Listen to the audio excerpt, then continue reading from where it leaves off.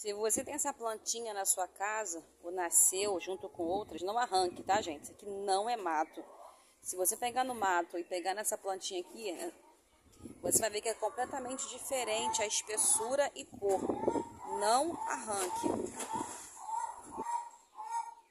Porque se você arrancar, você corre o risco de perder essa coisa linda. Desses matinhos aqui, nasce um fecho bem grossinho e nasce essa florzinha linda. Na filmagem tá rosa claro, mas aqui é rosa bem, bem pink mesmo, tá? O nome dela é Lírio do Vento. Conhecido como Lírio do Vento. Eu já cansei de arrancar no início, achando que era mato, mas não é. Se você gostou, deixe seu like para o YouTube entender que o conteúdo é legal. Comenta aí. Qual o nome dessa plantinha na sua cidade?